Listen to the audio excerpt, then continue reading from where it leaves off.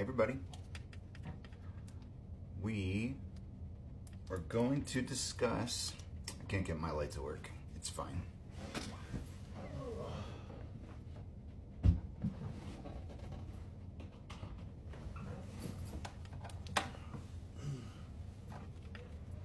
Crepes. All right. That just turned on by itself. What the hell?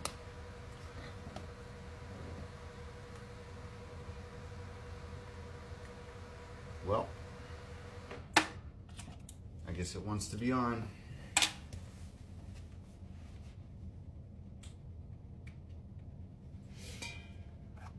But we're going to talk about transmutation of energy attachments. There we go. The fan is on. It's what it wanted. Basically, when you have any kind of negative energy attachment and that being is transmuted, it becomes something else. For example, recently I broke a cycle with an entity. And I believe that when I transmuted that energy, spirit placed some of it in the lantern where I place my sacrifices. This is the ancestral well. This is where all of that spiritual energy culminates. So, all that you will see inside of my lantern is ancestral energy. That is all. But when you put a demon in a jar, you can't just put it on the shelf. Spirit may put that energy into my lantern, and you know, maybe that's why I intuitively thought I was supposed to take an AI art of the lantern. There was really no reason for me to do that. It was just a, a download, a burst that I should. Justice. So I took the AI art and saw our little friend in there. And like I've said before, there's no need to be afraid. Whether it's a spirit, whether it's a demon, whether it's an angel, whether it is something else entirely, doesn't matter. You don't need to freak out. It's not that big of a deal. We know how to deal with energy attachments here. So, what do we do with an energy attachment? Once it's captured in a photograph, it's actually very easy to transmute. We fed it back into the AI. We gave it qualities associated with rebirth, transformation, the essence of what we are. We are transmuting that darkness into our light. That's how that works. So, we give it the qualities of a phoenix. We give it the blue fire that our ancestors have used on the dragonfly at pivotal moments to give us messages. That fire represents our strength, our power, our ancestral connection. So, blue fire, phoenix imagery, along with this, this baby demon spirit wanted us to transmute. So, we fed that into a new image. That image was then posted. It was made into our portal so that the energy could flow through, change, no matter what the original intentions of that entity. It's no longer the same creature it was. It's on our side now. It works with us. It works for us. And it's not all evil. It's got good in it too. The new picture, the angel wings, start black and then they turn white. Symbolic. The chariot. But I don't think I'm going to end the transmutation process there. Spirit wanted me to do something with that energy. It just so happened, Wheel of Fortune, that I was already working on a deck of tarot cards with a very similar theme and style. So I think the star, I'm going to take that transmuted image of the spirit phoenix, phoenix spirit, whatever you want to call it, our demon in a jar, that we turned into a protector, a guardian, if you will, King of Wands.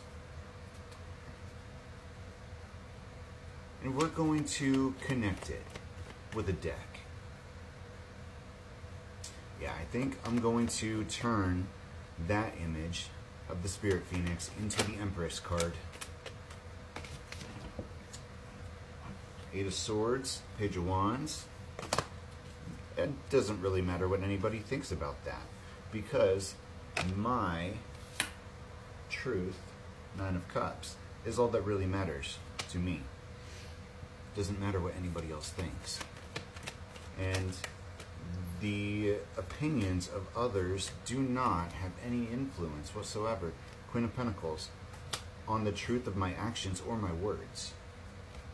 And I think you'll find that no matter what it looks like is happening, Knight of Swords and the Eight of Wands, my actions remain consistent.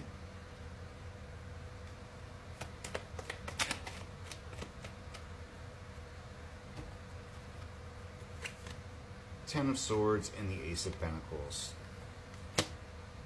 We know what we're doing. And it's not dark.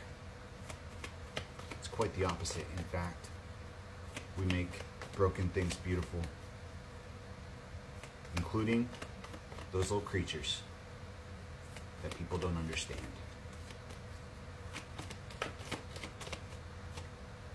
That can be so much more. Four of Cups, if given the chance to change.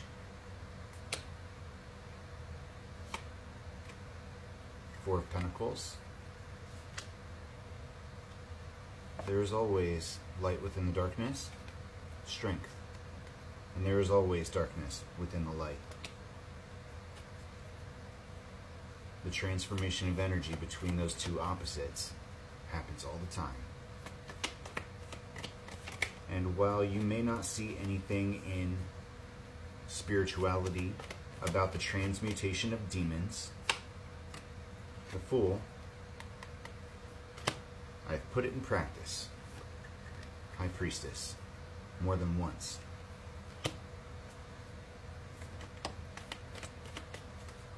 And it's not a demon anymore.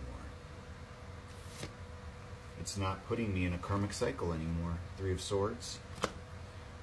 Judgment. It has its karma, its purpose, its reason. And it is not what it once was. Eight of Pentacles. Once I get the image onto the cards, we will remove the portal and the connection will be direct from spirit to the deck.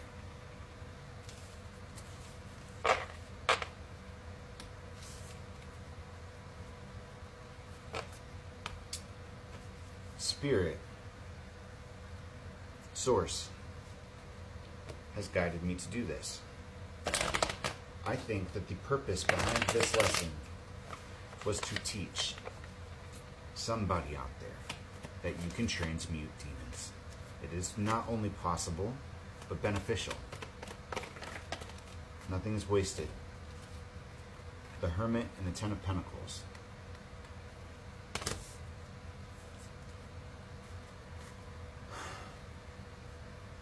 And you know what? We're all false relationships for somebody else. I don't believe that is the case in my situation. The Hanged Man and the Six of Cups. But Spirit has changed my mind a hundred times. Five of Pentacles. And I might be alone right now, Emperor. But I do not believe that we were just toxic karmics for each other. Five of Wands, the Sun.